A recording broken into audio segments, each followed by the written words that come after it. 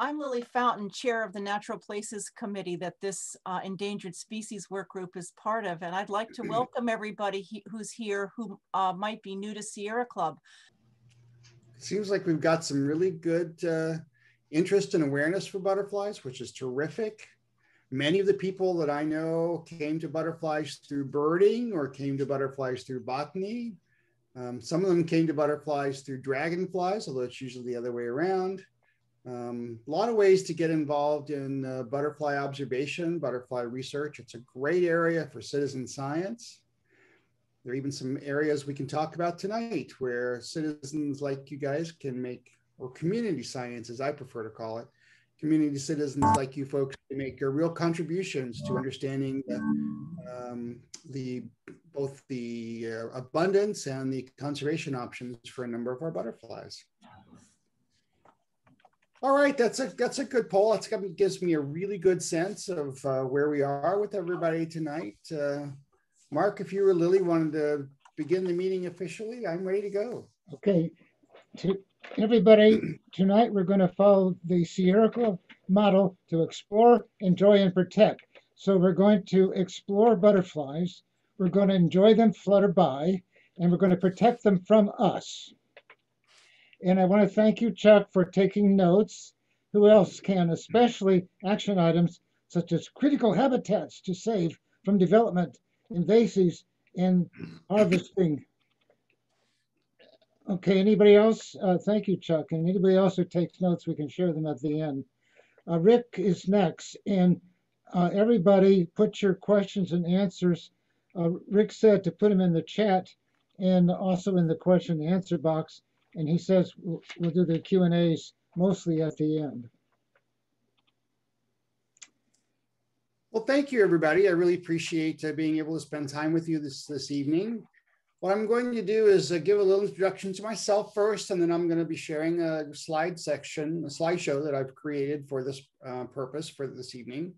Um, I want to, again, encourage people to ask me questions in the chat. I won't be able to type the questions back to you, but I have my iPad running so I can see the questions as they show up in chat, which I wouldn't be able to do when I'm sharing the screen and showing the uh, slideshow for this evening.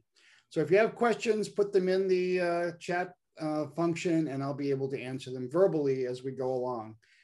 I wanted to thank everyone for their interest in butterflies, first of all. Uh, I, I came to the University of Maryland now going on 40 years ago um, to study to study spiders, first of all, frankly, I, I, was really interested in spiders. I came here as part of the inaugural Maryland Center for Systematic Entomology program at the University of Maryland. And that's a joint program, or was at the time, between the Smithsonian, the US Department of Agriculture, and the University of Maryland.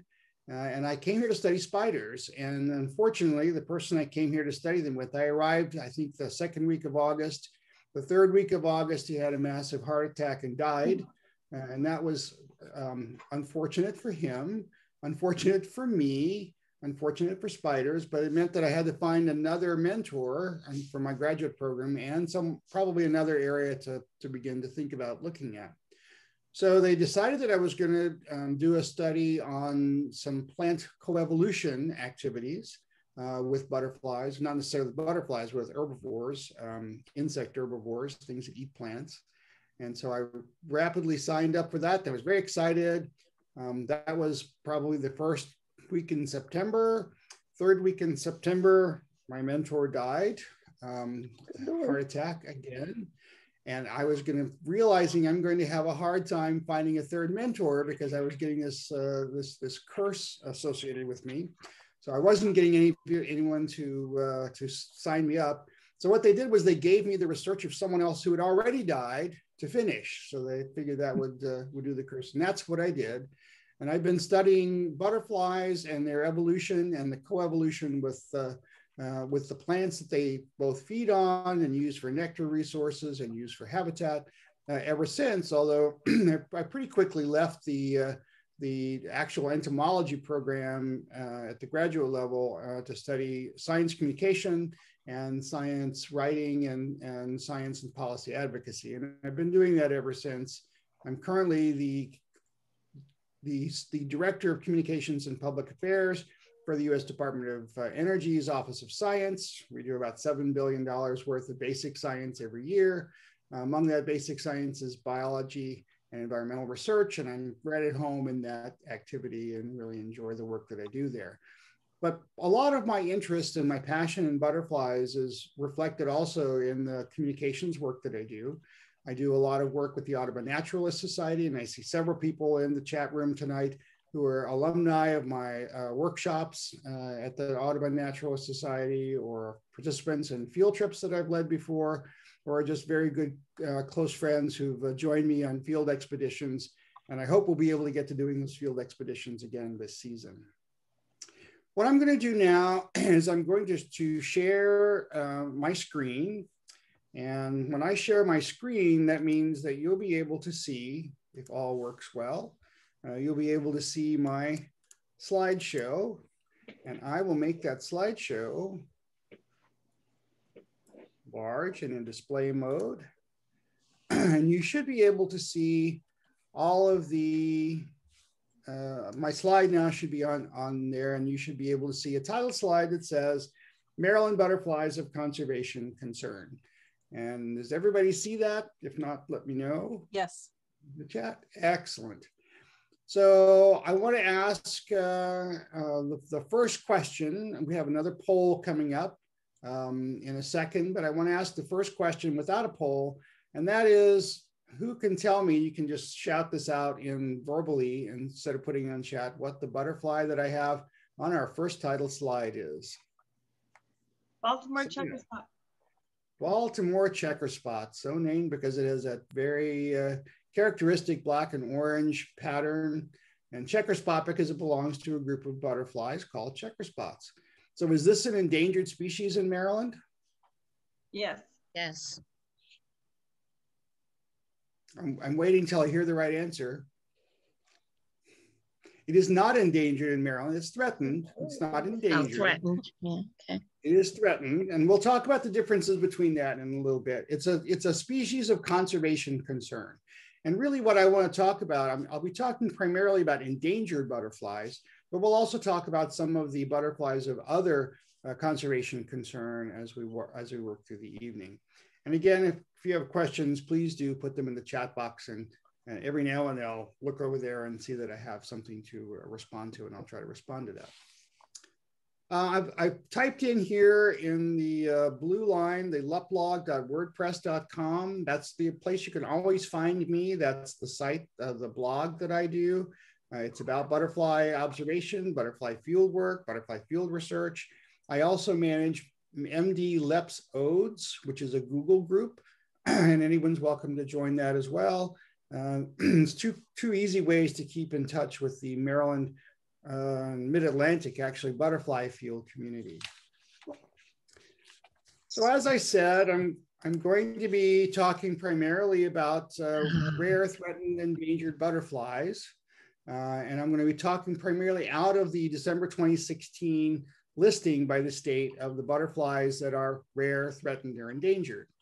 And I think at this point, we're going to ask Lily to put up the next poll.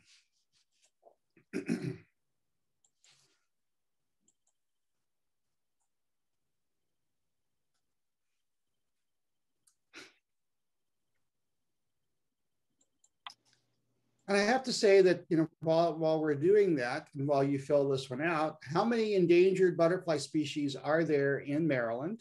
Endangered butterfly species, let me know. And while you're filling that out, I'll just say that, you know, our awareness of these things and our ability to determine what is endangered or threatened or of conservation concern in uh, Maryland is always changing because we're learning so much more about these things and especially we're learning more about them as citizen and community scientists, scientists like yourself, join me in the field to help figure out where they are, how, where they occur, and how often they occur.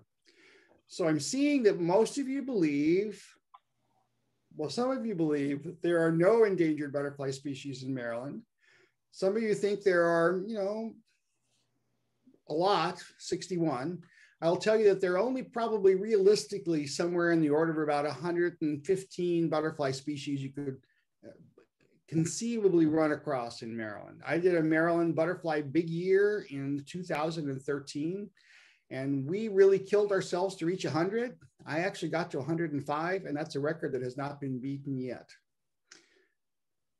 I know, fortunately, all butterfly species in Maryland are not endangered, although there's every reason to believe that if we continue the way we're going, that eventually all butterflies will be threatened at some level. Uh, they'll be of conservation concern, but they're not endangered yet. And in fact, some of the uh, some of the critters that are going to be talking about tonight that are endangered probably don't deserve to be there anymore. Not because we've done anything right, but because we've our understanding and our awareness of them has changed. Those of you who said that there are 13 endangered butterflies in Maryland are correct. That's the number of actual butterflies that have been met the criteria to be listed uh, by the state of Maryland as endangered and in need of conservation action to prevent their extirpation. Extirpation meaning they be um, eliminated from Maryland. Now, there are no butterflies in Maryland that we consider only in Maryland. Um, so all of our butterfly species are found somewhere else. If they were to become extirpated in Maryland, it's unlikely they would be extirpated anywhere else or go extinct because they do uh, exist in other places. Nevertheless, we have a number of butterflies that are very close to the brink in Maryland, and we're going to be talking about them uh, in the next couple of uh, next couple of minutes or so. So let me put that out of the way. That was our poll. and then so I want to just briefly go over the categories here. When I talk about what is endangered, this is what I mean, that it's the species that is about to wink out of, out, of the place. The continued existence of this critter is, uh, you know, as a viable component of the fauna is about to end. Now that doesn't mean that sometimes you may have butterflies that appear here for a season, let's say canna skippers, which come up now regularly every summer on canna plants that are imported from Florida, where they're very common. And in fact, they're called canna skippers there, and they're a, a horticultural nursery pest. Um, here, they're really cool because we don't have them, but they can't survive the winter. So they were never actually going to be a species that has a viable component of our fauna. But that's the kind of thing that we would see there. And we see a number of these migrants and we see a number of these accidentals. And sometimes I'll be talking to you about what's an accidental species and why that really doesn't qualify as endangered. Threatened is something that's likely to become endangered. So we have this sort of sliding slope, slippery slope here that this species might be able to slide into the endangered uh, area. And in need of conservation in general is an animal spot population who is so limited that you might be able, you might see it reg regularly uh, or within some period of time moving into threatened or endangered uh, levels.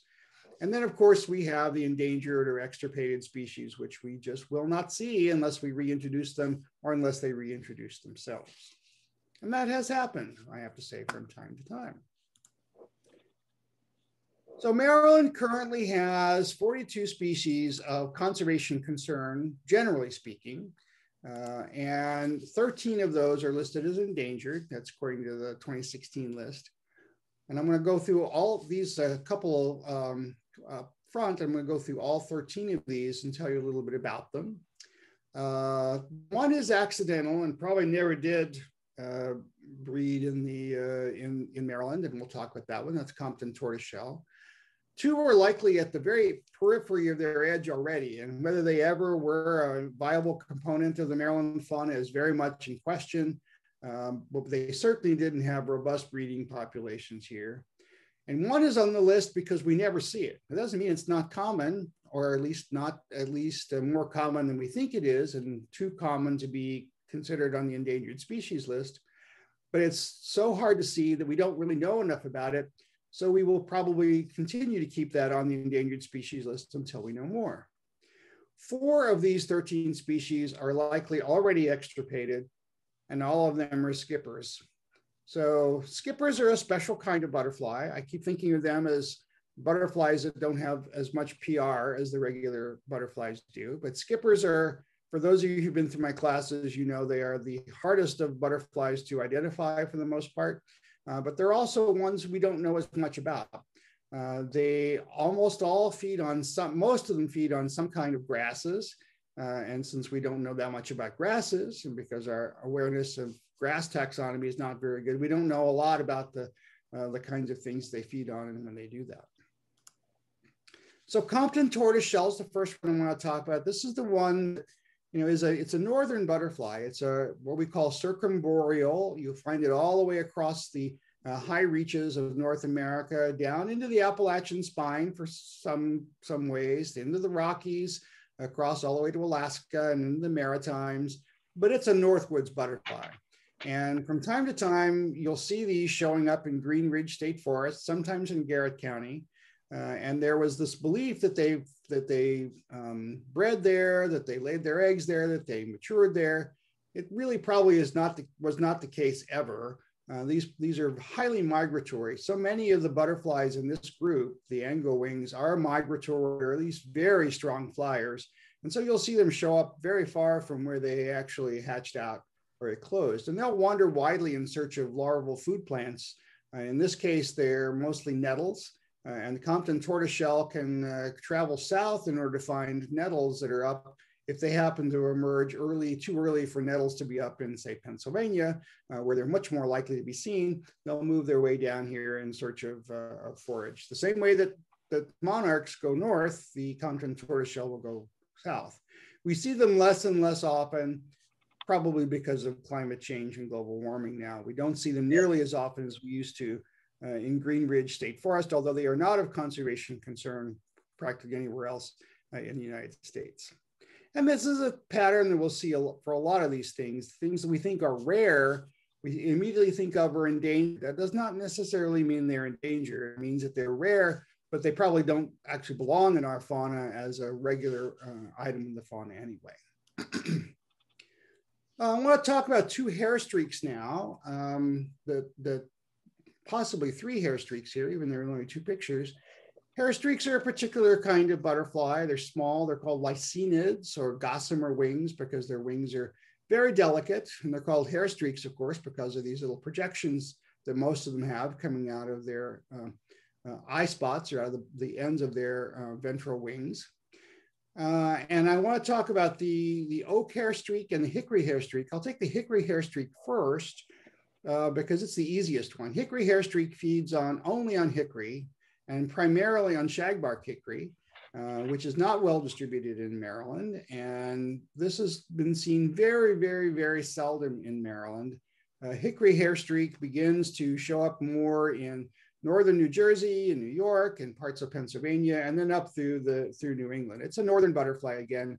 When we see it here, it's at the very edge of its boundaries uh, and probably can't tolerate the warm and hot summers here the way uh, that many of our Satyrium butterflies can, Satyrium hair streaks. These are all in the genus Satyrium.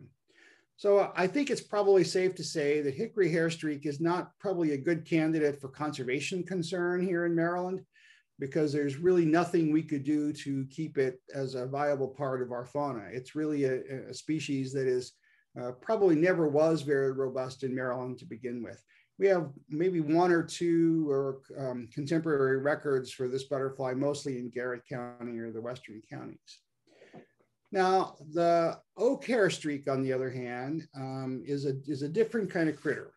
Uh, oak hair streak is widely distributed in, uh, in the United States. And I have a little poll here uh, to ask you about how hair, what hair streaks do with those little tails that are on the back of their um, wings before we move on to uh, talking about the oak hair streaks. So why do hair streak butterflies have those tails? Do they have them to protect against bird predators? Do they have them to attract a mate in some way? Do they have them protect against spider predators? Do they have them to serve as rudders when they're flying or otherwise help them with flying? Folks who've taken my Audubon Naturalist Society course are not eligible here because we talk about this in my class. Luckily, I can see most of you haven't taken that class. So I'll give you just another 20 seconds or so to uh, fill out the poll.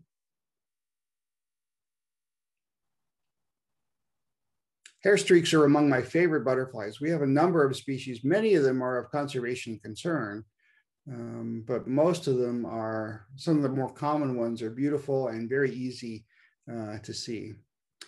All right. Um, those of you who think that it's to protect against bird predators, that's the overwhelming majority of you. Um, not really, probably not true. And this is what we used to believe. So it's not surprising a lot of people still believe Mhm. that's the case. You know, hair streaks are kind of small. They wouldn't make much of a meal for a bird in the first place, but they're also probably not designed to do that. When you see these butterflies in nature, you'll often see them uh, sitting on a leaf and they'll be turning their tails and those little those little um, uh, hair streaks, those little hairs look like antennae on the top on the end of their um, end of their abdomen, so that when something does strike that area, it means that they're going to miss the head and just get a mouthful of scales. Um, they don't really use them to attract a mate, and they don't really serve much of a function as rudders or in flight. But what we recently come to discover is they're a super effective uh, protection against spiders. Jumping spiders are the biggest predator for hair streaks. And jumping spiders in particular will see that eye spot and see that little antennae moving, and they'll go straight for the head or what they think is the head. And when they hit that uh, end of the end of the wing, the butterfly just flies off. A super effective way of protecting against uh, spiders. and I'm going to go, Lily. I'm going to I'm going to uh, take your question in a second about the impact of non-native invasive species on Maryland butterflies. I will say, if you're talking about non-native butterfly species, there really hasn't been an impact. Uh, if you're talking about non-native invasive plant species, pretty much big impact, and we can talk about that in a little bit. so here's the curious situation with oak hair streak. Oak hair streak shows up in two different um, two different buckets, I guess you would say. Uh, so if you look on this map, the orange dots are the dots where we have real verified contemporary records. The purple dots are where we have old records, primarily site records of people who've said they've seen this or recorded they've seen this, this critter. Uh, and you'll see that most of them are either in the south or the orange ones, and most of the other orange, orange ones are in the north. In fact, if you follow those orange ones to the north up, uh, there'd be even more of them up and farther in New England. What's happened is there's been this complete hollowing out of the middle of this range. That tells me two things. One, it tells me um, that's kind of odd because you know oak hair streaks feed on a lot of different kinds of oaks. There's no real reason why they you know would be hollowed out this way. More likely, the southern oak hair streak, which is the one we were most likely to see, um, uh, I, I, believe, uh, at least in the southern parts of the state. Southern oak hair streak looks a lot like our other hair streaks, and so would have been misidentified. So does northern oak hair streak. Looks a lot like our other butterflies, and people with wishful thinking, uh, thinking, "Oh, I saw a northern oak hair streak." Probably didn't. They probably saw one of our more common species. And since most of these records aren't backed up by actual specimens in a collection, and this was before iNaturalist, and this was before Mar um, Maryland Biodiversity Project, the likelihood is that these are mostly errors. The one that you see over the M in Maryland, the orange dot is real. I do know that one um, and observed that one actually, uh, and it was real. On the other hand, there's no way of knowing how it got there. Did it get there because it was breeding in the area, or like many butterflies, and Gulf fritillary is one of them that, uh, that, that does this often, they hitchhike. The larva drops down, spins a cocoon or spins a chrysalis, builds its cocoon uh, on the car, on the camper, in your tent. And then when you, when you pitch your tent in Green Ridge State Forest, then this thing emerges and you think, oh my goodness, we now have northern oak hair streak in Maryland. Probably not. And it probably probably never really existed here in any numbers and certainly doesn't now and probably doesn't deserve the conservation concern uh, the, or the resources that would go with conservation concern. Early hair streak is one of the butterflies that I love talking about more than any other. It's one of the most beautiful butterflies. I've seen it once in Massachusetts. I've never seen it in Maryland. There are only a handful of records in Maryland. And when you see it, it is a stunner. It is an absolute stunner. The problem is you never see it. You never see it because it stays in the very tops of trees, primarily beech trees in Maryland, although in some parts of New England it feeds on beaked uh, hazelnut and some other plants. Uh, but here it's only in Maryland. The only time you will ever see this is, is when the males come down to the ground to do what the one on the left is doing, which is to take up salt ions, which it then uh, stores in its sperm and is transmitted to the female a, it makes his sperm more effective, and B, it makes her eggs more uh, viable when he's able to transmit those. But it's only the males who come down and do that. You never see, and you see how what it might seem because this is this big picture here. It might seem that that's a hard thing to miss if you're walking through the woods. Trust me, it's a very hard thing to see. They're almost always on this very grayish, greenish colored uh, uh, substrate. So when you see them, it's really hard. It's really hard to figure out what they are. Now I want to talk a little bit about uh, mottled dusky wing. It's one of the skippers again. Skippers are butterflies that that have a different sort of a lifestyle. They tend to be much more frenetic, much more frantic. Uh, they fly around, um, generally speaking, much more and, and, skip around. That's how they get their name. Uh, they're often larger. They have wings that are more fixed and not quite as flexible. You'll see on this one too, on the left on the left hand side, sitting on, on one of the phloxes. I took this picture actually in uh, Crex Wildlife Management Area in Wisconsin a couple of years ago on a butterfly trip out there. You'll see that its antennae are hooked. They're, they come to a club, which is true of all butterflies, and then it hooks. That's one of the things that differentiates butterflies from moths is that clubbed antenna. So the skipper has the clubbed antenna and a hook and that hook is very characteristic of skippers. Mottled dusky wing used to be seen in Maryland quite frequently, um, it, it, particularly in the western counties, and particularly on shale barrens, and particularly in Green Ridge State Forest, uh, which is an area of special concern for me and special interest to me. Uh, has not been seen in the state for some decades now. Um, pro probably because its primary host plant, which is on the right, which is New Jersey tea or ceanothus, has been hit really hard by two particular problems in Maryland. Anyone want to tell me what those particular problems are? New Jersey tea. Climate change. Climate change hasn't really been much of an issue. It's found throughout the um, the Appalachians and well into some of the southern states. So it's not and it's uh, found up into the into New England as well. So it's a widely distributed plant. Development. Development. Development is not really that much of a problem, although we have lost some of these uh, some of these colonies and populations to uh, roadsides and, and road building. That certainly is an issue. Deer. No, the real problem, deer. Yes, they are. They are. They are catnip to deer. Deer love to eat these more than anything else. They will wipe these out wherever they can get to them. So where you see them now is usually on roadsides that have a slope. Uh, you see some of these in Green Ridge, but never in the kind of numbers that will support a population of butterflies. And, and I hear this a lot that, you know, oh, I have, I planted turtle head in my garden. I have three plants, but I still don't have any, any Baltimore checker spots. Well, no, you're not going to either. You really need habitats which are rich in their food plants not just one food plant every mile and a half.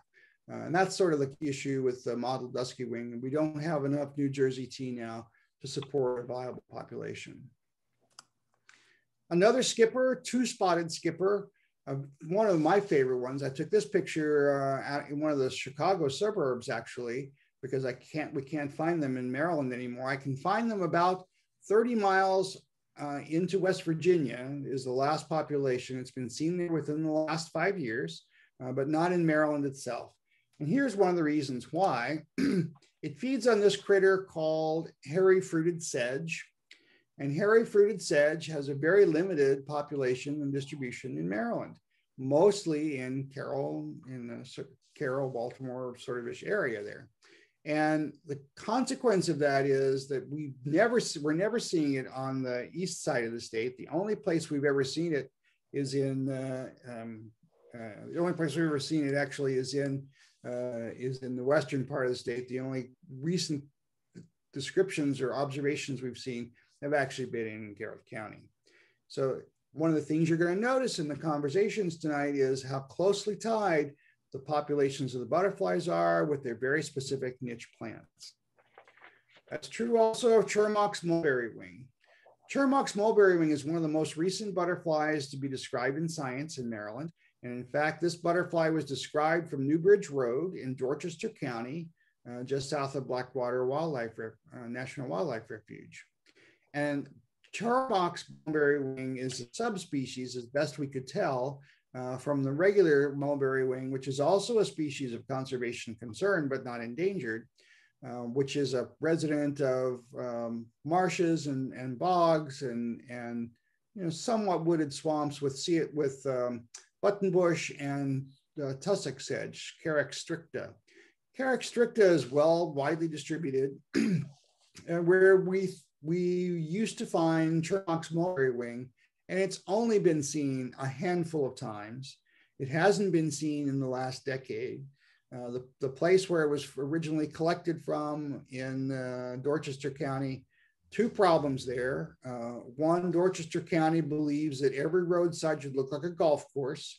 So they go do their very level best to mow everything to the tree line, and that includes most of the Carex stricta. And what they don't get, sea level rise has gotten. So there's a lot more flooding in that area now, and Carex stricta can't stand to be flooded that much. So we're losing the butterfly, we're losing the plant. Even when the plant still remains, the butterfly crawls down to the bottom of the plant in the evenings so it doesn't get uh, fed on or predated quite as much. Uh, and when it does, it drowns along with the plant. Mm-hmm. So Chermock's mulberry wing, for all we know, may be extinct uh, completely, but it certainly is probably mm-hmm. extirpated in Maryland. It's a beautiful little butterfly. These are about the size of, oh, a half dollar or so. And then one of my favorites that I still hold hope for uh, here in Maryland, the Appalachian grizzled skipper, which used to be very common in Green Ridge State Forest on shale barrens. This one's sitting on a shale barren in Virginia near Covington, and in one of the last remaining large holdouts for this in a shale barrens area, a very open and expansive shale barren. It feeds on dwarf cinquefoil, which is a very commonly distributed plant in Maryland. In fact, I took this picture on the left at Patuxent Research Refuge uh, just day before yesterday, so I could have that to show you today. It's blooming now, and that's just when they would be flying, is when this plant starts to bloom. That's the only larval food source that they have. They can only feed on that plant. Uh, and when you don't have that plant, well, you, you're sort of out of luck. The problem is the plant is very common. So why isn't the Appalachian grizzled skipper? Its last holdout was in Green Ridge State Forest. This is a univoltine butterfly, and you'll find that that's characteristic of many of our endangered species. Univoltine means it only flies once during the year. Other very common butterflies, like some of our swallowtails, like cabbage whites, uh, like sulfurs, all these butterflies have multiple broods during the year. So, so what? You you you know you freeze one brood, they'll come back. They can build up again. With Appalachian grizzled skipper and other univoltine species, you wipe out that that one that one brood and you wipe this critter out and that's really what happened at green ridge they were already just barely hanging on because the shale barren habitat there was degraded uh, and forest management there didn't support you know keeping the uh, the shale barrens intact the way it should be what happened then was the final coup de grace widespread gypsy moth spraying in the 1990s those of you who know gypsy moth spraying know that they spray at exactly this, you know, the right time for this butterfly to have laid its eggs and the new caterpillars to have been out. Wipe them out completely. Uh, I still hold out some hope that there may be some shale barrens that were not sprayed in that widespread gypsy moth spraying program in the 90s, but that hope fades a little bit every year. So what do these four skippers have in common? Well, they're all in niche habitats. They're in shale or serpentine barrens. They're in palustrine meadows, that is meadows with you know, standing water at least some of the time, uh, wet meadows, coastal sedge marshes, with the exception of the Appalachian grizzle skipper, rare caterpillar food plants. And this is a pattern that we'll see with many other endangered butterflies and species uh, in Maryland. And we have another poll coming up here. So let's take another look at the next poll.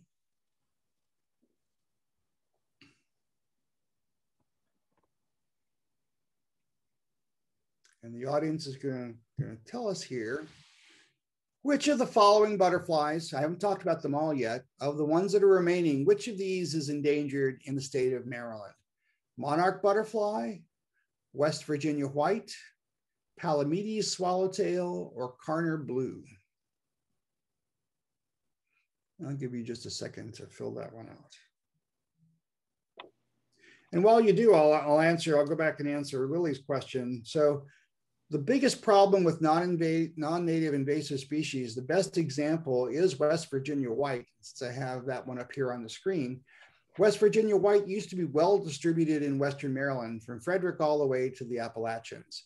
Uh, it feeds on various um, uh, crinkle roots or toothworts, as some of you know them. They're cress, early spring cress blooming now. Uh, and that species that they feed on is distributed widely across Maryland. But about the time that they started to decline would have been, oh, the late 80s, 90s, and the early 2000s. And what we've discovered is that the introduced garlic mustard uh, is probably what's responsible for wiping them out.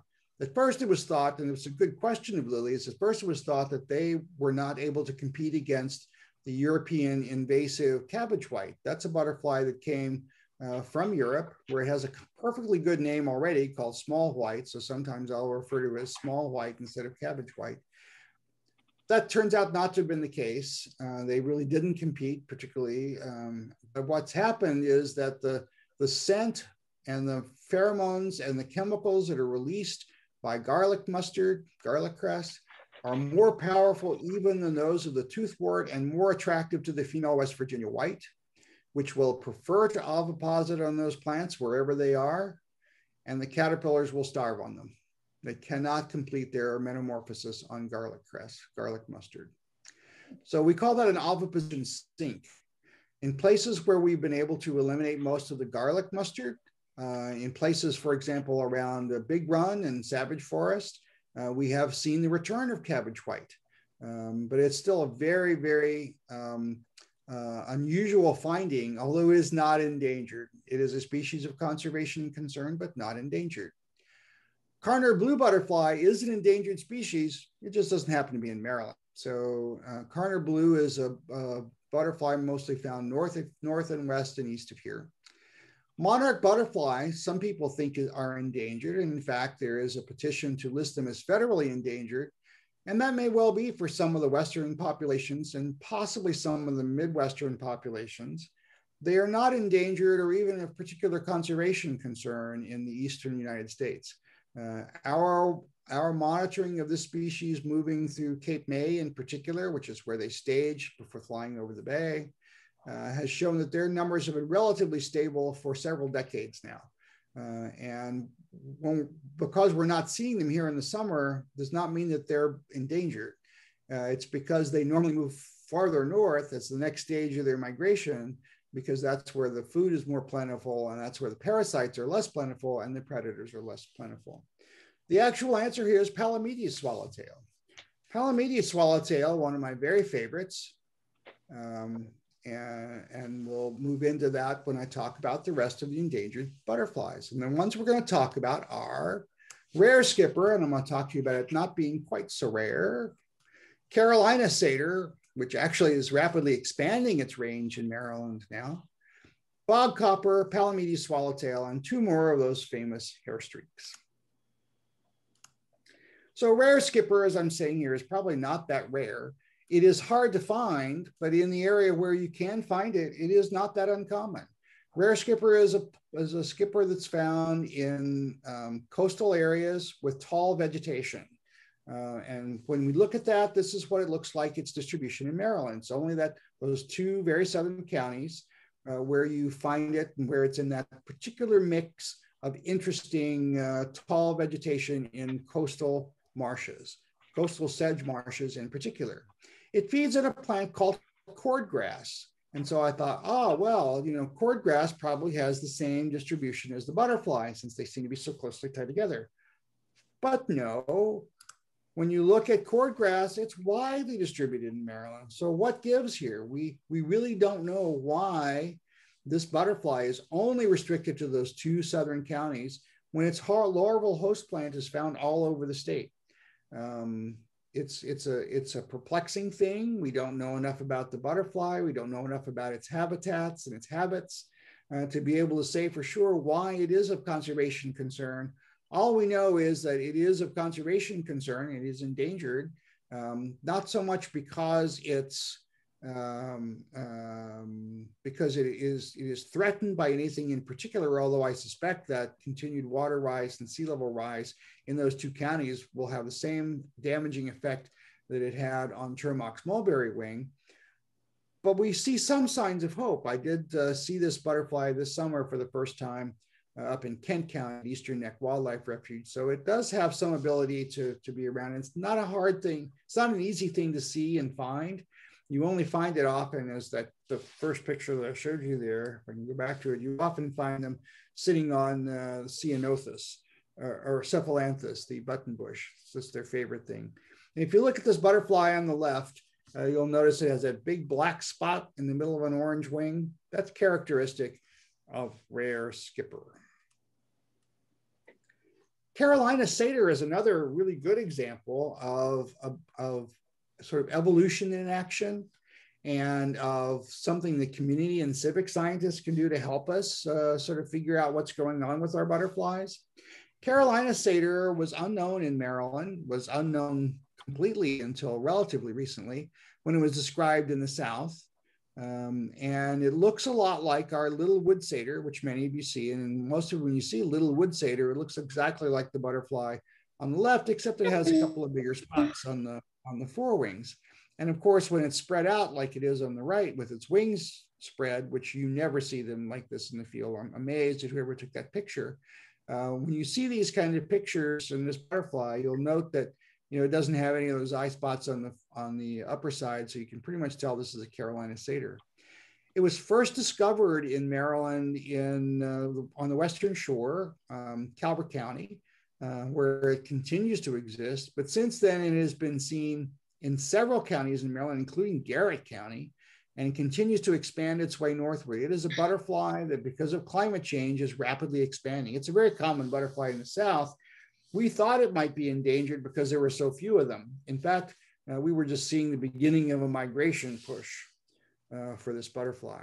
This is its my this is its uh, uh its uh, range now. It goes all the way up now into New Jersey, uh, all of Delaware, into Ohio, well into Pennsylvania. And I think last year were the first year was the first year it's actually been reported from Maryland, uh, from uh, New York. Bog copper, not so much. Bog copper truly deserves the moniker of an endangered species. It's endangered for two reasons. One, and two interchangeable, intertwined reasons.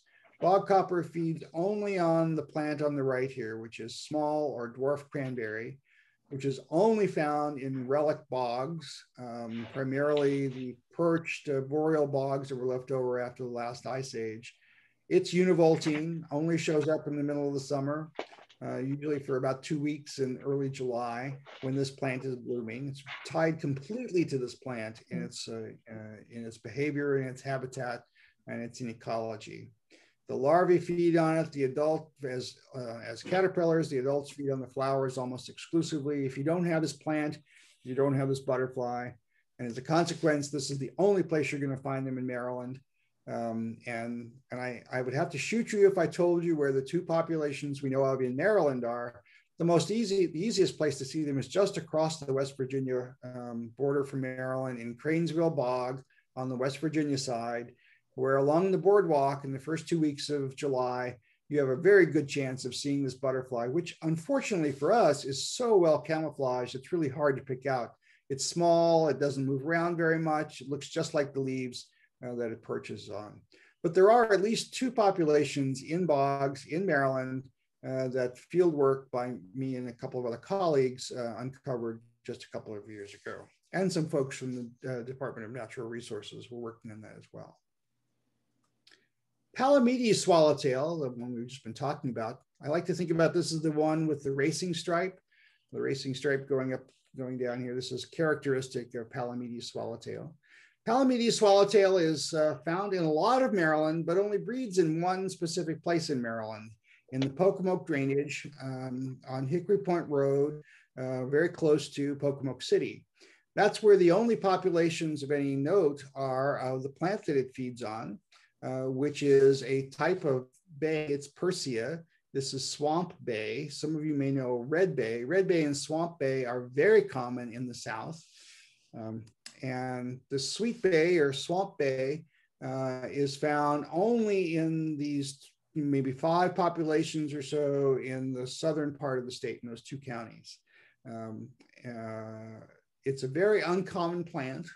It's in the laurel family, and we may be one of the last refuges of this plant because, well, let me just say first, the, um, the Palamedes swallowtail, even though it only breeds in those two counties, strong flyer. You can see it in much of Maryland. We just got a really good picture last year of one in Baltimore.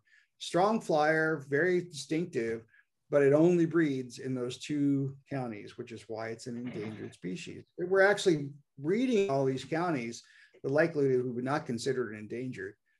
But it's endangered because of the scarcity of its host plant and because of the red bay ambrosia beetle. So red bay ambrosia beetle was uh, introduced in the United States somewhere around mm, 15, 20 years ago. And already it has wrought such devastation in the ecosystem in many of the swamps of the South that it has brought the Palamedes swallowtail to its knees in many of its former uh. It was, it's a very common southern butterfly. It's only uncommon here because it, we're at the very northern end of its range not because the butterfly couldn't survive, but because sweet bay uh, can't survive here and red bay can't survive here. What happens is this little ambrosia beetle requires its host to be infected with the fungus. So it deliberately infects these plants, red bay and sweet bay, um, with this fungus, which is fatal. And they feed on the decaying plant as it dies from the fungus. Highly aggressive, almost impossible to control we may be so far north that the beetle can survive here. That's a good possibility.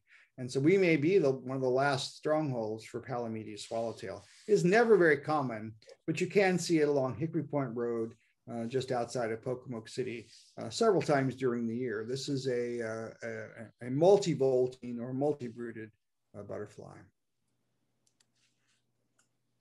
King's hair streak found in much the same area, actually. It has the same kind of a situation with its host plant, which is a sweet leaf or fever tree uh, or horse sugar. Sometimes this plant is called a very unusual plant, distributed very little, again, fewer than five active locations. King's hair streak feeds on this plant and this plant alone. Oops.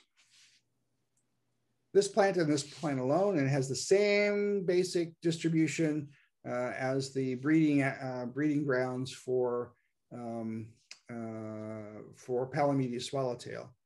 This is the hardest butterfly of our butterflies to see. When I did my Maryland 100 year, the big butterfly big year in 2013, it took me six trips to the Eastern Shore to see this butterfly. It flies for a very short period of time. Like many hair streaks, it only flies in the very early morning the males come down and even the females come down for a little bit un, until about nine o'clock in the morning. And then they're back up in the canopy of the trees, like many hair streaks are. So you can only have a very limited period of time to see them. And its habitat is so restricted. I know of only one regular colony that uh, we could see these things at. And we're still trying to studying that, trying to figure out what the population dynamics there are. Edwards hair streak, much the same situation, except that Here's its host plant on the right-hand side. Anyone want to shout out and tell me what kind of oak that is? so fairly widely distributed oak. You notice it has those spines or tips on the leaves. Bear oak. Bear oak or post oak, Quercus ilicifolia. Um, and if you look at where the Edwards hair streak is, Edwards hair streak is not very well distributed in Maryland. Um, this is this is its historical um, uh, distribution. That is um, where we've seen now. Again, we have now only probably five active colonies of Edwards hair streak. And this is really surprising because this is the distribution of bear oak. So what the heck is going on here? Very common host plant, very uncommon butterfly, made us think, gosh, what's going on here? This is what's going on here. We're, we need to be more concerned about the population of the ants that are mutualistic inhabitants with these butter, with these butterfly larvae. And it requires very specific habitat requirements. That is a lot of open space between the small um, uh, bear oaks, which can only be about three or four feet tall. Uh, because if they get taller than that, the butterflies can't feed because the, the larva goes down to the ground during the daytime and only feeds at night. So if it's a very tall oak, it can't make it up into the tree to feed and it has to be associated with these ants. And we don't know enough about the species of ants that are required to maintain this symbiotic relationship. What we do know is where there are no none of the right species of ants, you will not find Edwards hair streak. So the folks who did some uh, habitat reconstruction in Soldier's Delight about a decade ago, there was a very good colony of Edwards hair streak there. They wanted to remove a good portion of the bear oak because it was crowding out some other more important to, to botanically important uh, endangered plant species. They knew there was plenty of bear oak down the down the hollow just a little bit, more mature trees. They took out took out the small bear oak, and the colony never recovered. It uh, it went extinct in that area, extirpated from Soldier's Delight. So it's unintended consequences, and it's always trade-offs between one endangered species for another. I want to talk to you and end sort of here on a on a positive note, a temporary at least conservation success story uh, involving a species that I've been studying very closely for the last decade, Olympia marble. Olympia marble is a relative of cabbage white. It's a small butterfly, about the size of a quarter. Um, it flies with falcate orange tip, which is a very close relative and a very common butterfly. It's found when we're seeing it now, we're seeing it again in Green Ridge State Forest. The female on the left uh, is ovipositing on a rock cress. The male on the right is just sort of hanging out here after having been in my net and gotten freaked out, um, but then sort of sat there and, uh, and recovered for a little bit, enough for us to take some really good photographs. This is the interesting thing about the Olympia marble, Euchloe olympia. Let me just back up and say the reason they get the name marble if I can make myself go back here. Well, I'll take the next picture. Is the is that really strong vein look on the uh, sort of the green marbling on the underside of the wing? Those characteristic of the marbles. When you look at the the the distribution of of um, Olympia marble, they are two big pockets. There's all those ones that are in the left hand side. All the all the ones in the middle of the country, all those butterflies are either in prairies or very light woods, very dry woods.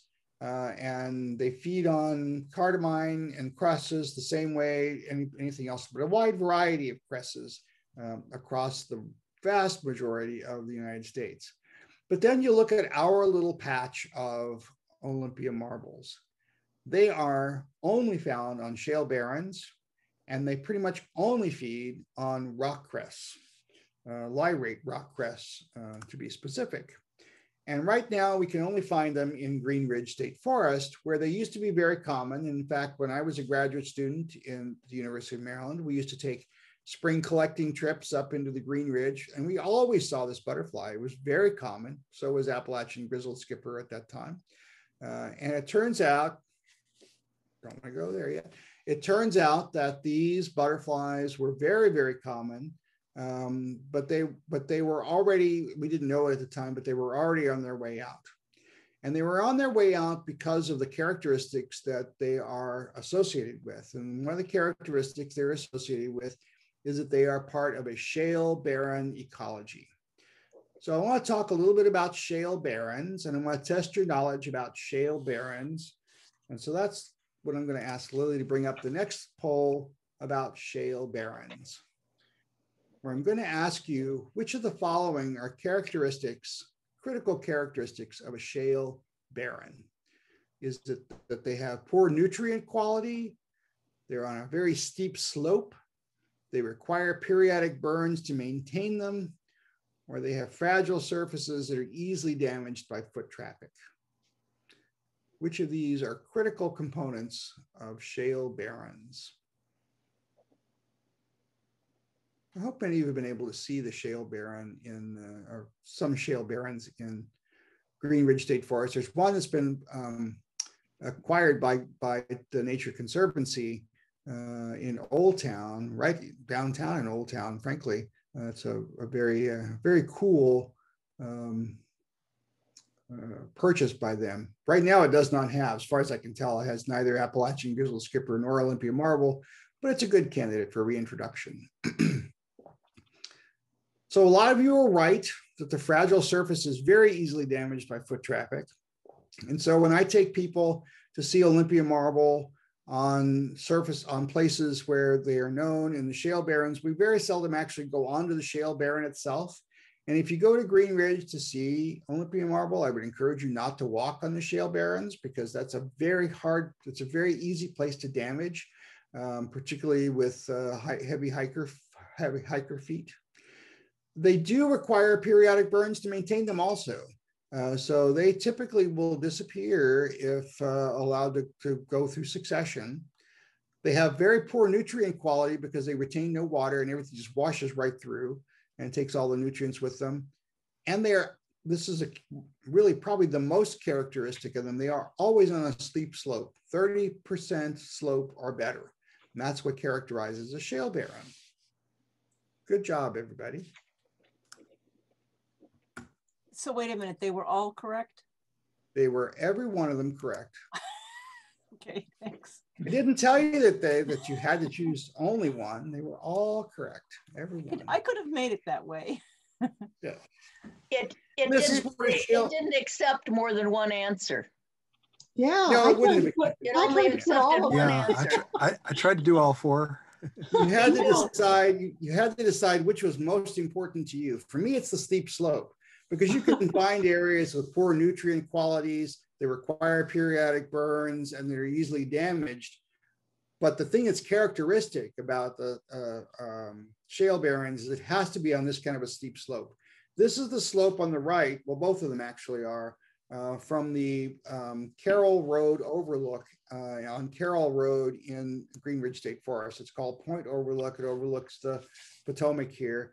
And the butterflies breed in the uh, slopes here on rock cress. I think I may have a picture of rock cress that's blooming right now. This is lyrate rock cress, Arabidopsis lyrata, and it is the preferred host plant for the caterpillars. And it's scattered throughout Green Ridge, but most of it occurs on those steep slopes, probably because of something that has to do with the, the combination of poor nutrient quality and the fast drainage uh, and the lack of competition from other uh, other critters. And this is critical for the Olympian marble, although I have observed it ovipositing a couple of times in other cresses, in particular hairy bitter cress. I've never seen the caterpillars uh, make their way to adulthood on that.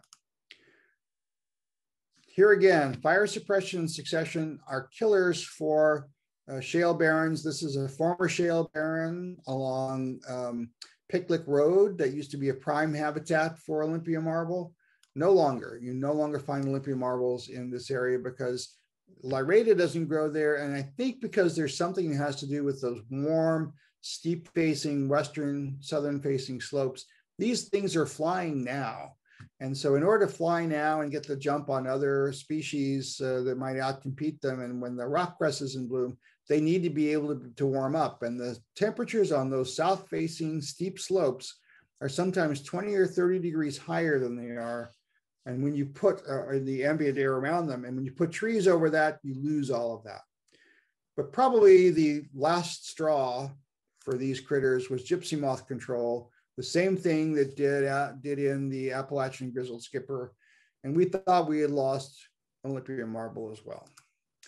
Until in 2010, uh, Jen Selfridge got to, a bunch of us together and we went over all the historical records for Olympia marble and visited all the historical known locations for this butterfly in all of Green Ridge, in fact, all of Great Garrett and uh, all of uh, Allegany County, uh, and came up empty. until I finally found a relic population just over the summit of this hill here. We call it Happy Valley, but it's a hell of a hike to get to. Uh, and there were maybe a dozen butterflies there. Uh, and we started working with the Department of Natural Resources and with the Maryland Forestry Service uh, to provide some protection. And now they're keeping this, this, this uh, right of way clear. And that's really critical, I think. Um, unfortunately, because of the way we're, we're damaging a lot of the uh, surrounding ecology, power line right of ways for all their you know damage to the environment when they're built provide really good refugia for many endangered species, and Olympia marble is one of them. And over the last decade, I'm happy to report that this charismatic little butterfly, notice how beautifully rosy tinged it is when it first emerges, uh, has been common enough that I can actually take people to uh, Green Ridge. Dennis and Lydia in the room have been there uh, with me. Judy's been with me uh, to see uh, these incredible butterflies uh, actually in person, up close and personal. Um, beautiful, beautiful butterfly. And here again is the reason why they're called marbles, that marbling on the on the hind wing, really characteristic. And when they sit on a lichen covered rock or tree, you would never see them. So where does that leave us? Well, here's my here's my my ending slide. Uh, I just want to talk about really quickly what the priorities might be for endangered butterfly conservation. So one of the first things I would say is stop, stop doing gypsy moth control uh, with Bacillus thuringiensis, the BT, or Dimilin. Dimilin is a chitin inhibitor. That means that uh, if you spray something with Dimilin, it will not form its exoskeleton. It won't form that uh, heavy, hard um, uh, shell. So for insects and butterflies or insects, they don't have an internal skeleton. Their skeleton is all on the outside. It's like wearing a suit of armor with no bones or anything else on the inside, all the muscles attached to the exoskeleton. So if you can't grow that exoskeleton and Dimilin keeps you from growing an exoskeleton, you're screwed. It has the same impact on crayfish, the same impact on crabs. That's one of the reasons they seldom use Dimilin anymore. But everybody loves BT because it only kills butterfly larvae. Well, moth and butterfly larvae, caterpillars. Well, guess what? It kills gypsy moth caterpillars, but it also kills Appalachian grizzle skipper. It also kills falcate orange tip. It also kills Olympia marble. It also kills um, silvery, um, silvery blue, and many of the others uh, that are of some conservation control, um, conservation concern. Aggressive deer browse needs to be controlled. In an ideal world, we would restore beaver managed landscapes very critical for many of our endangered butterflies and our butterflies of conservation concern. We desperately need control burns on barrens, both serpentine and shale, to be able to expose that area, make sure that the uh, rock cresses can remain, and make sure that the butterflies can have the areas to do the thermoregulation they need to be that those early emerging uh, butterflies and make their way. Reducing the mowing regimes on road uh, road rights of way. I mean, it, I have to say, on the Eastern Shore in general, it's the worst situation ever. But it's not like the rest of the state is, you know, can go home and say, "Oh, we've done a great job," because much of rural Maryland, the the the way that we keep the roads is to keep it, you know, so you can play croquet on the roadside. Meadow and marsh habitat restoration and succession of suppression.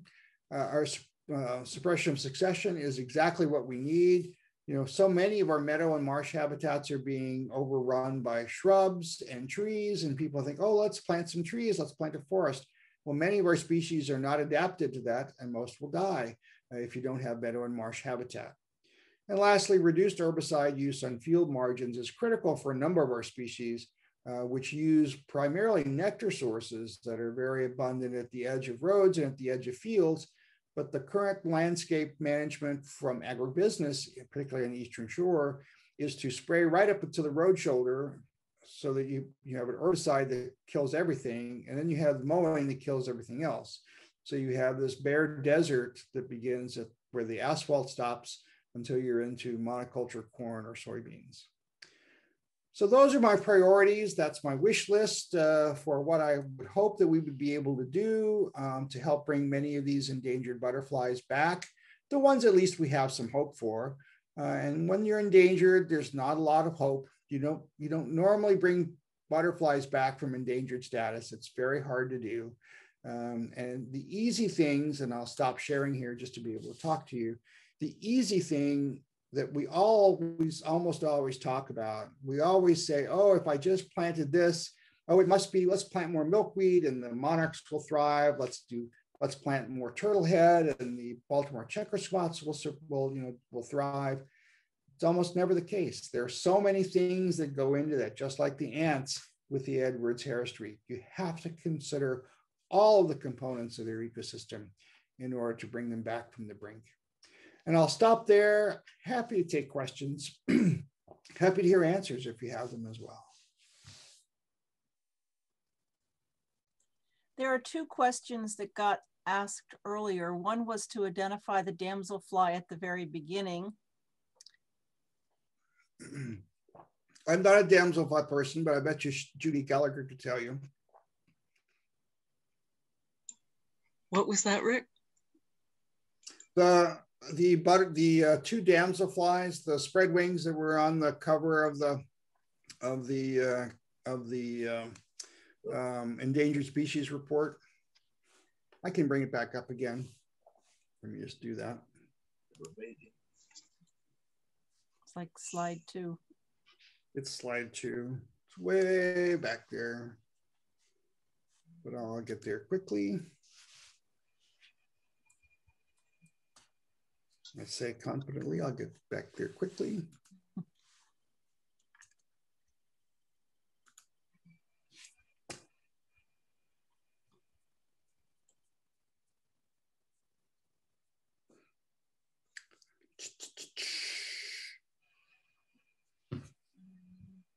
Do you know that one offhand? Um, I'm not seeing your screen, Rick. Oh, should be shared. Let's share the screen again. How's that?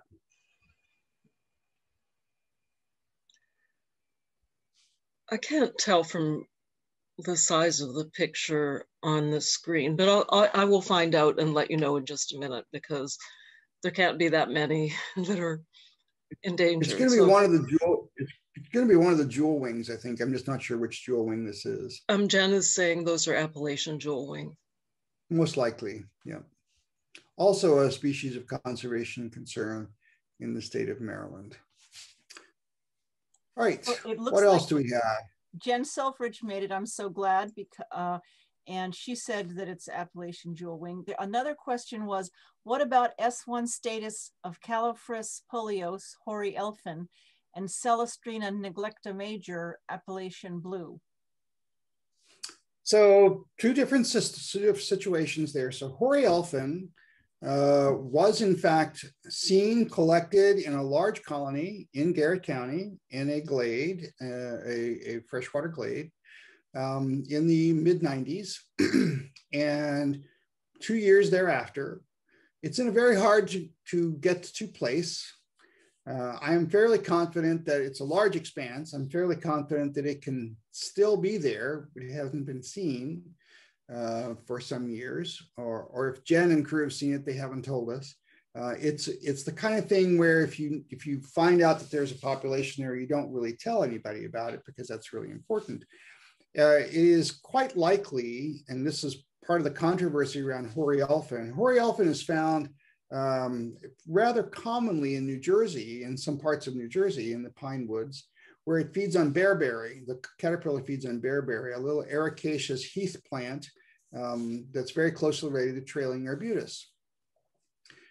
Well, as far as I know, there is not a lot or any bearberry in that in that area where this hoary elfin was found. And there's some suggestion from some research done in Virginia and West Virginia that hoary elfin, where it's found there, uses um, trailing arbutus as a, an alternate host plant. So it's possible, A, it still exists in Maryland, although it hasn't been seen for some time. I tried finding it last uh, spring. I don't think I quite made it to the same spot that Richard Orr had it in the mid 90s. Um, but you know, the habitat looked good. Otherwise, there's plenty of trailing arbutus, no bearberry, um, but did not see the butterfly. And I was probably late. my guess is, so I was using the same dates that Richard had in the late 90s. My guess is it probably flies two weeks earlier now. So this year, if I go, I'll try a little earlier this year. The other is Appalachian Azure. So we have this Azure complex. We have a whole complex of Azure, some of which probably haven't been described yet, are new to science. I mean, we see them, we've collected them, but we don't know, we haven't figured out that they're new yet. Uh, um, Harry Pavulaan and David Wright are describing these right and left, Holly Azure, Blueberry Azure, Cherry Gall Azure.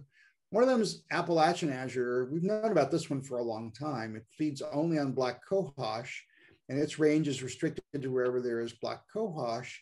It is, it is a species of conservation concern, but it is not yet endangered. Um, there are a couple of downward selection pressures on the black cohosh. Deer browse is one of them. Uh, forest succession is another one of them. When the canopy gets too crowded, uh, it doesn't survive quite as well. It needs a little bit of light uh, in there to do that. And then I think there's also an issue of uh, invasive species like garlic mustard and stiltgrass that are crowding out the good stands of, of black cohosh right now i'm concerned about it i don't think it's in danger it's i don't think it's um, critical to the point of being endangered at this point it is possible to see it on in many habitats which have good black cohosh stands the ability to keep this butterfly in maryland will depend on us being able to keep good quality stands of black cohosh. As long as the black cohosh is around so will the appalachian azure be. Um, next question, um, what Maryland legislative initiatives will help with endangered butterflies? And I'm thinking myself, this was not my question, but also I was thinking about the pesticides uh, can definitely be looked at, herbicides. Um, I know B, there was something for BT for aphids near Baltimore, and I don't know what part of the state that bill was. We didn't actually follow it closely, but there was a bill limiting BT in some way in the state. But what other hmm. legislation would help? So I've been looking at a couple of different things. Um, for, for general butterfly biodiversity, uh, I would say that the most important thing we could do is stop growing lawns. Um, you know, I, am I'm, I'm not alone in this. Uh, Doug Tallamy, who was my office mate as a graduate student uh, back at University of Maryland, and, and I you know, talk about this a lot that if we just got rid of lawns and lawn maintenance, we'd have a much greater biodiversity of various kinds. And I think that's even true in the suburbs where we would probably have better butterfly biodiversity, even of some uncommon, if not uh, species of conservation concern. But the thing that I am, I think, most interested in is a, is a bill that's currently making its way through the Texas legislature, uh, which requires that when you do any kind of uh, construction uh, on roads or bridges or infrastructure improvements, not, not you just, you don't have to just replace it with what you took out. They're requiring that if you took out trees, you replace it with shrubs and forbs and grasses. So they're trying to replace uh, more, more critical habitats rather than just plant more trees. And here in Maryland, we have a very weak restoration law which says, you know, if you cut down some trees, you got to put trees back in their place. It would be much more helpful to butterfly conservation if instead of putting back trees where you've cut down trees, you actually created a mix of diverse habitats, which is the key for sustaining and maintaining butterfly uh, distribution and butterfly biodiversity in the state of Maryland. And I see that Guy got his answer about dwarf cinquefoil for the host plant for um, Appalachian grizzled skipper. Okay, so let's see. Uh, we've got all the questions. Oh, here's a question. It's interesting that you said the eastern monarch population is stable. Is it just a gimmick that the environmental groups seem to say they're in trouble when they ask for donations? Still being recorded, aren't I? Um, so, Yes. Um, I, you know, the monarch, people who are passionate about monarchs are very passionate about monarchs. And I absolutely understand why. They are the most charismatic creatures. Um, but but I, I, get a little concerned every fall when people start posting about their monarch babies and you know I, am it's going to freeze tonight what's going to happen to my monarch babies well they're going to die um, and they should because that means that they're some some somehow the female didn't get the right cues and you don't you don't you don't want to continue to you know insert genes in this population so that uh, you know future unfit generations happen um, but there's a lot of money being made selling monarch or selling milkweed to save the monarch. Well, we have so much milkweed in Maryland that is not used by monarch butterflies that planting more milkweed is going to do nothing for the monarch population. Zero. Planting wayside nectar stations isn't going to help them. You know, that's not the critical factor for them in Maryland. There is a critical factor, and there is a place where you can do a lot of real good for monarchs and that is in their southward migration in the fall.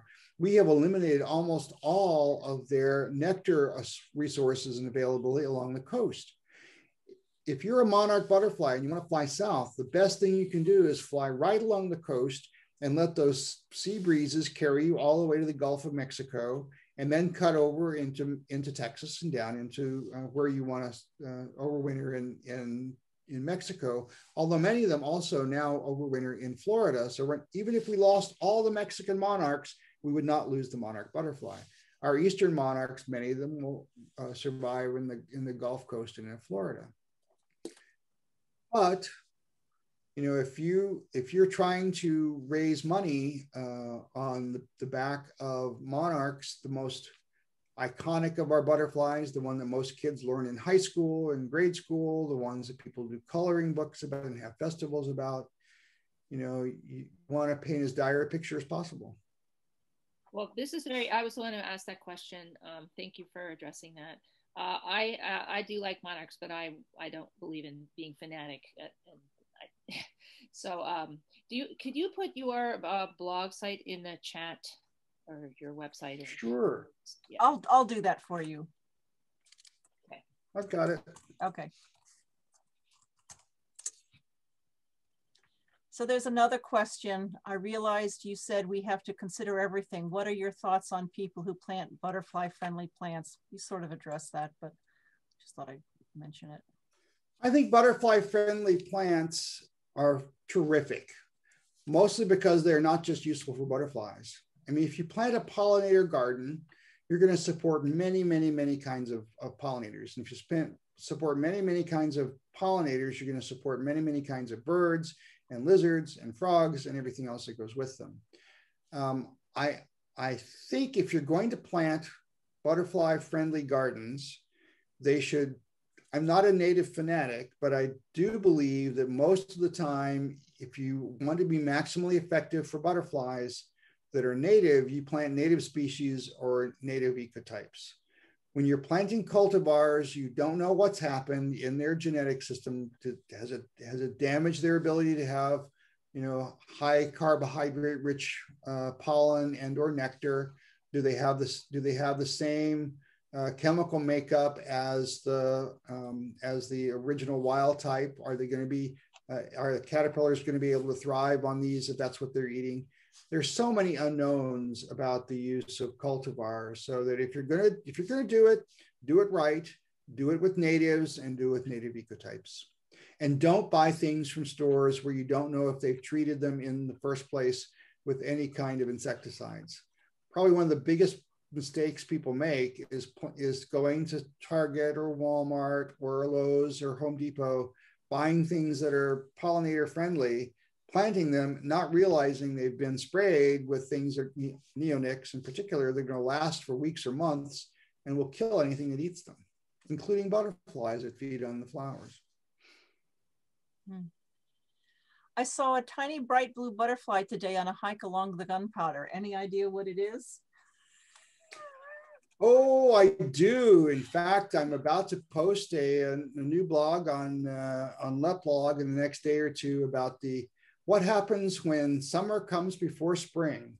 And what do I mean about that? Well, um, for years, decades actually, since the days of Edwards, for whom Edwards hairstreak was named, one of our leading uh, lepidopterists, um, since he screwed up in the first place, uh, we believe that the first butterfly out in the spring is spring azure, the first blue butterfly.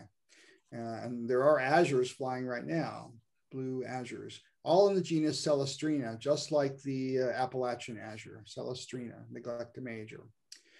Um, the Celastrina that's flying right now actually is summer azure. It's not spring azure at all.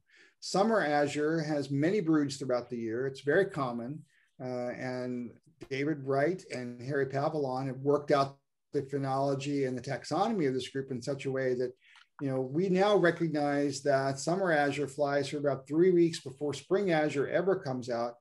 Spring azure is going to be a candidate for conservation concern in maryland before too much longer i suspect unless it's able to find another host that's able to complete its development on. Right now it is almost exclusively dependent on flowering dogwood and those of you who know flowering dogwood know that it's under a lot of pressure from a number of environmental pathogens and habitat destruction. And it, it, it's, it's, it is not the understory tree that it used to be in the state of Maryland and for which spring azure depends on it to be. Some spring azure has adapted to some other trees in Greenridge. I've now found it on black cherry, for example. So there is a great possibility that it can make a resurgence based on its ability to switch host plants. And that's not unusual for butterflies. Um, our Maryland checker, Baltimore checker spot, our state insect, here feeds on the relatively rare, uh, increasingly uncommon turtlehead. Uh, and is in a very restricted uh, environment. In New England, it feeds on common plantain, which is everywhere. And the butterfly is much more common as a consequence. Now, it may also be a different species. That has to be worked out. Uh, are you planning to put your conservation recommendations into a report that can be used to propose legislation? Well, I, I, am not. I just thought of it up today. Um, but, um, you know, certainly if there's interest, I'm happy to work with anyone who's uh, interested in sort of pushing that forward. I think it's it's a it's a high bar for many of these things because they, they go in the face of job creation, go in the face of industrial development, go in the face of all the things that you and Sierra Club know go hand in hand with habitat destruction and loss of species biodiversity. I, I and that's, like, as Dave motioned. I would like to make a, um, I would like to make a comment on that. Can you hear me? Yes. Yes. Okay. The um, we're, we have taken I've taken about uh, including yours a whole bunch of action alerts like where there's deer control plant some a huge amount of New Jersey tea for the uh, the multi doubling that depends on it. Uh, and like everybody in this audience, uh, I've taken written down about 30 action alerts. Uh, Rick has a whole bunch of them. So does Chuck Woolery, everybody else, if you could send them to us, action alerts you, that would actually help, like the one I just mentioned. Um, and I, I want to say that follow up on the legislation is April 14th. Uh, we're going to have a wonderful session, 7 to 9 p.m., on, in this case, how to work with the feds uh, as the state state, the Maryland chapter tends to work on state legislation, and and then when that's over, we we put switch our focus to federal, and we can bring up a lot of these legislative ideas and actually take action on that. Um, one in particular that will come up is, um, and I want everybody to look at your calendar and please register for the April 14th, 7 to 9 p.m. and bring up your action alerts. Uh, one of them, of course, uh, I've just had a, a, discussion with the staff of the uh, Stopping the Next Pandemic HR 151, which will reduce pand pandemics by about 50%. Uh, like, no longer can people buy the scales of the endangered pangolin. That's just one of many examples. Um, in terms of so, so saving habitat, the Land and Water Conservation Fund is equally important to program open space. And fortunately, thanks to the Maryland Sierra Club, we'd resurrected during the Trump period.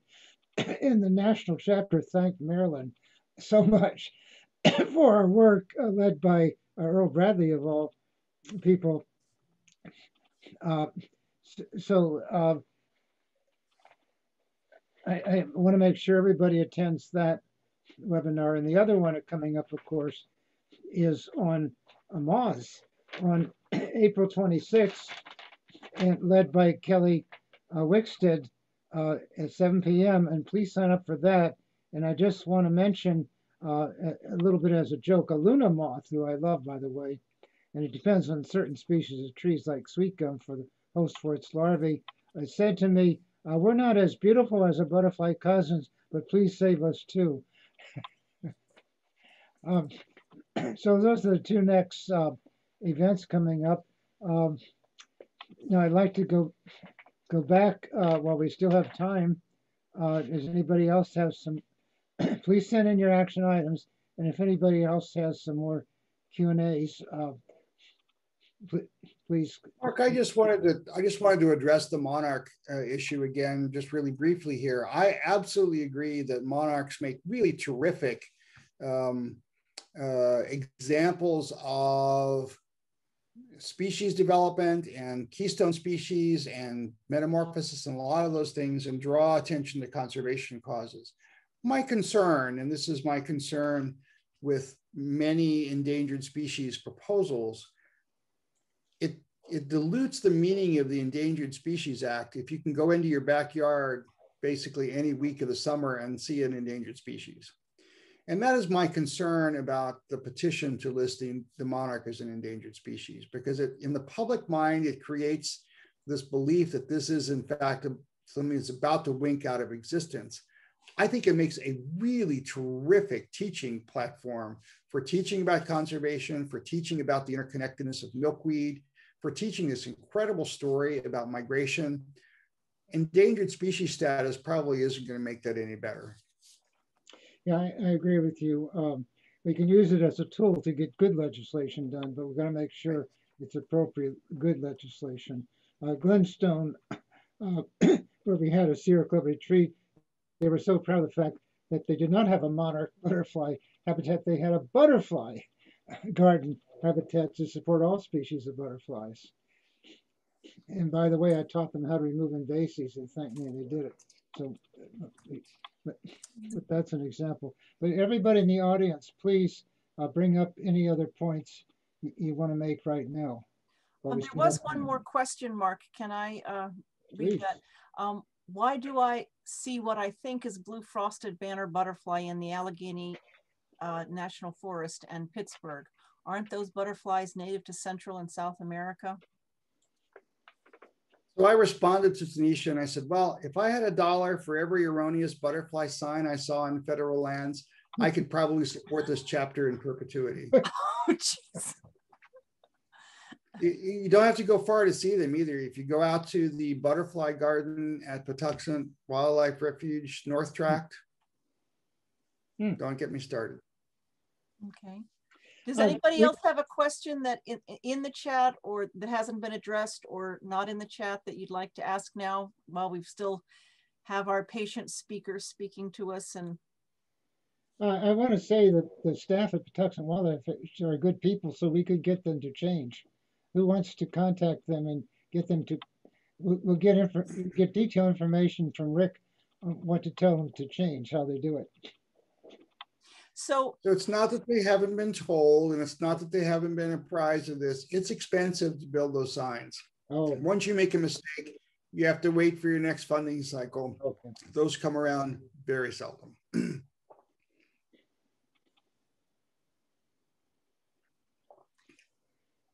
okay. before we leave, remember everybody, uh, it would be great for you to all register for the April 14th and the April 26th Metroplex Committee meetings. It was such an honor spending time with you all this evening. Thank you so much for your attention and your great questions. And I hope to see you out looking and observing for butterflies and their habitats and their conservation in 2021. Sierra Club, you. thank you very much. Thank you, Rick. You're welcome. Thank you. It was great. Thank you. Yes, thank you. Great job, Rick. Thank you. You're welcome. Thanks a bunch. Thank you. Thank you and good night. Thank you. Thank you.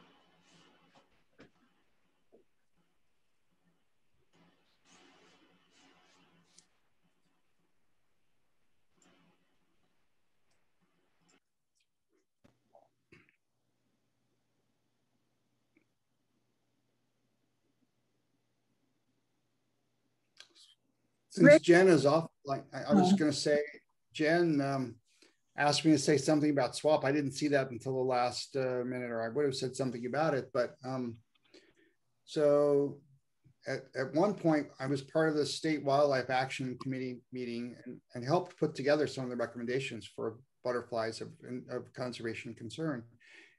There was a strong push that many of us then re- resisted and didn't happen to list the monarch as a Maryland state endangered species.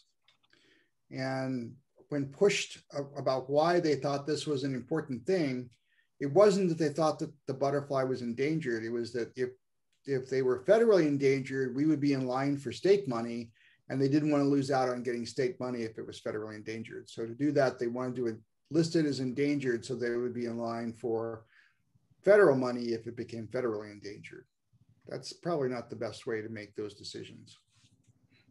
Uh, that raises a question. Are there any federal uh, species that we should get listed as endangered in order to get uh, money for, uh, you get support?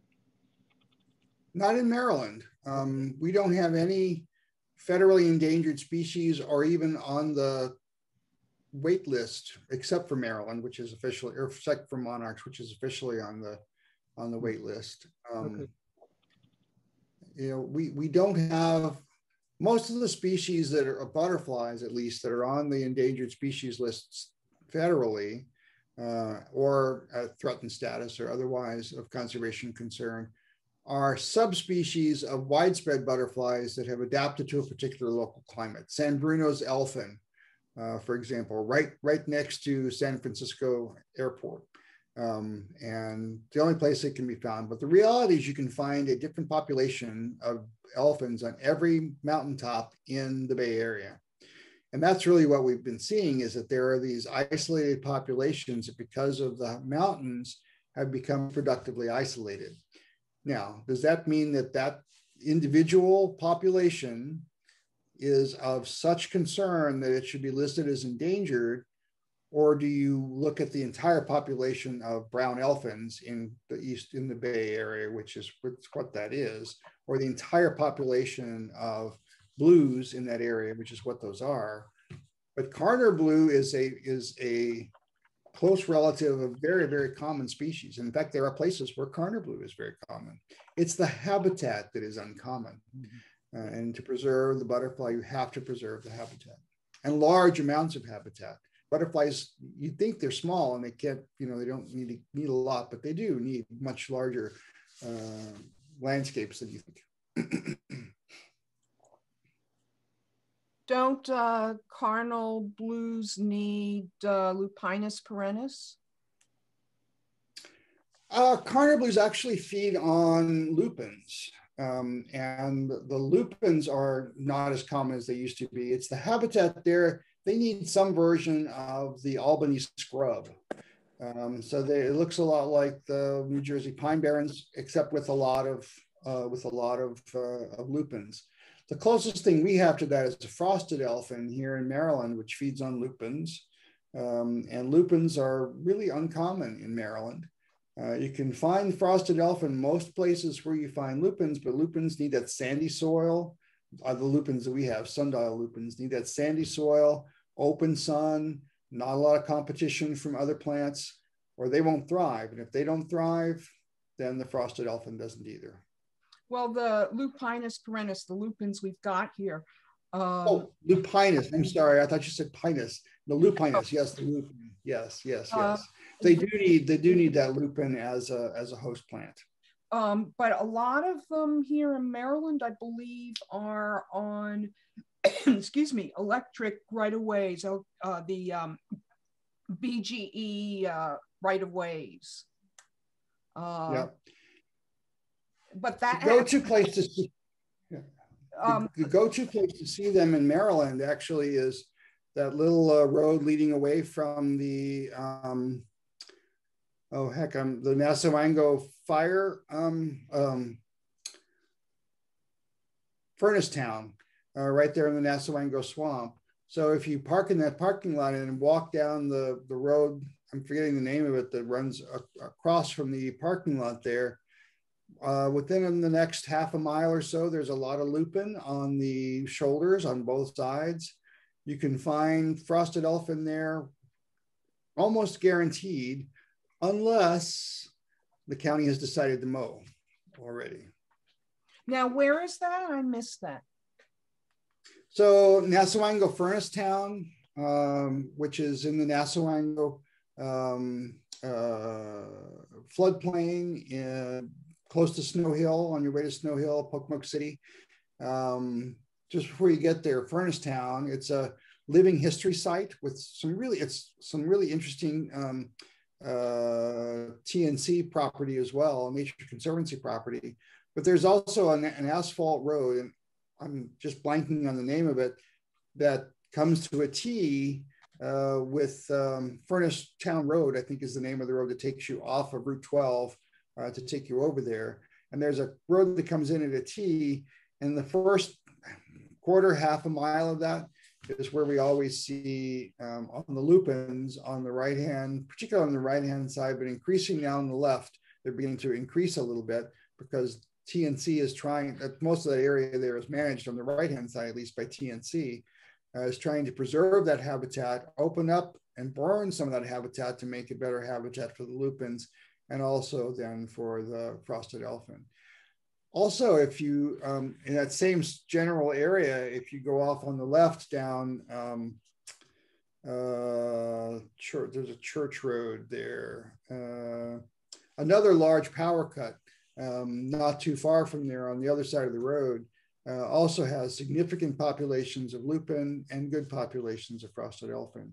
Hmm. And it's being managed rather heavily uh, for, um, uh, particularly for lupin. There's a suspicion it may also feed on Baptisia tinctoria, our wild indigo. Um, and we're, we're tracking that. I've seen it ovipositing, but I haven't seen it complete a life cycle on that yet that's interesting because I've, I've planted a, recently a number of those plants, but they're still babies. So it's not going to be attra attracting much. Yeah, when I plant uh, species, I try and uh, plant a, a, bunch of them. For instance, the New Jersey tea, I think I've got something like, oh, I don't know, somewhere maybe 15 of them. So you start having not just one, but a bunch to attract um, the various uh, species that need to use them as host plants. Sure. They're wonderful pollinator plants. Um, I think the issue with the, I suspect the issue with mottled dusky wing may be that it requires the shale habitat where most of our New Jersey tea was found uh, historically anyway. Um, I suspect in the same way that Olympia marble needs the shale habitat um, the mottled dusky wing may need the shale habitat as much as it needs the New Jersey tea. Uh-huh. And back well, to the frosted elfin, you know, those caterpillars don't eat the leaves, they eat the buds, the flower buds, the flowers, and the emerging seed pods. That's all they feed on. Interesting. High, high energy pieces of the plant. And well, where there are fewer chemicals. I live near a, a, serpentine barren, not Soldier's Delight, the the one in uh, it's also Baltimore County. It's Lake Roland uh, yep. park area, and although I am not in the serpentine, uh, I do uh, believe I've got like a lot of magnesium uh, in my soil, so I'm I'm not in standard uh, soils. Uh, though I'm also, I noticed by pulling up the soil analysis that uh, I'm either part of the property might be nice, but again, I am pretty close to the Serpentine Barren. There's also. Yeah, it's interesting. Yeah. Go ahead. Um, there's also. The, the go ahead the the issue with serpentine barrens, there's a there's a there's a butterfly fauna in the serpentine barrens you don't find in the shale barrens and vice versa. Uh, Leonard Skipper, for example, is one that's almost entirely restricted to serpentine soils. And it's one we see around Labor Day every year. Univoltine, but this case, a fall univoltine only emerges in the uh, late summer, early fall. So, what's a host plant for the Leonard Skipper, did you say?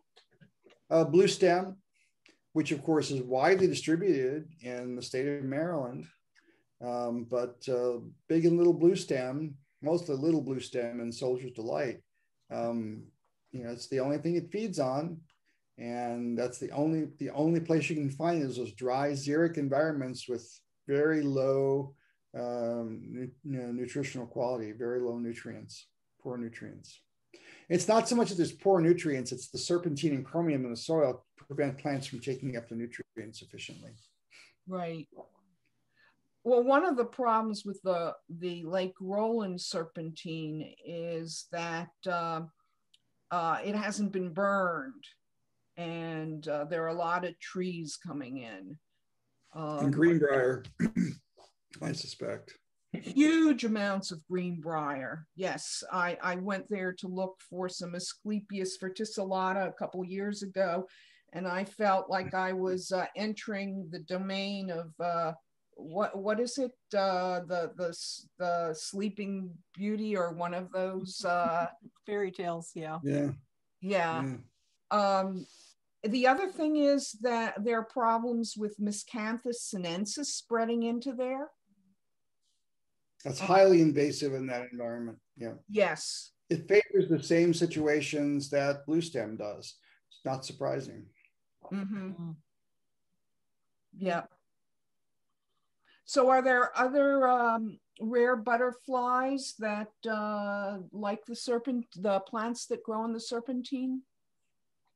Cobweb skipper is another one that comes to mind. It's widely distributed in Maryland, also in xeric populate xeric landscapes. The most common place to find that, and it flies in the spring, middle to end of May, uh, in the serpentine barrens. Beautiful little skipper. Cobweb skipper. It's named because it has that a really beautiful, delicate uh, cobweb-like tracery on its hind wings. Mm-hmm. Also feeds on blue stem. Hmm. Well, I've certainly got blue stem in my landscaping, so. You'll see the, like the Leonard land. skipper. Yeah, but you'll see the the Leonard skipper on uh, Liatris in the fall. You always find them coming out at the same time that Liatris starts to bloom. It's about the only thing that they, they feed on. The Pilosa? Yes. Mm-hmm.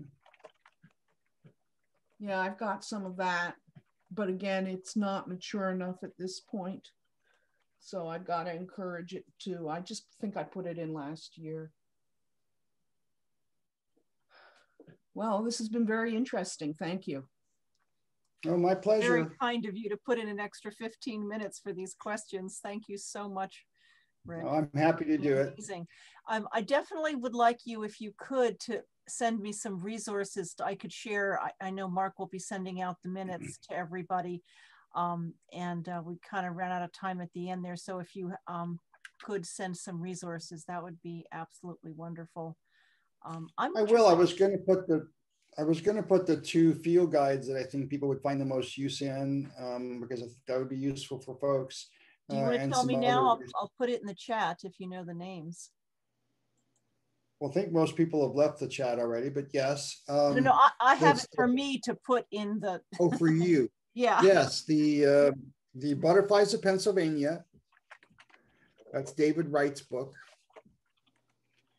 and 95% of everything they have, we have, and it's the best, just the best guide, I think, uh, for our area available. And then there's also, um, the, I think, my go-to guide, um, which is Butterflies of North America by Kenn Kaufman.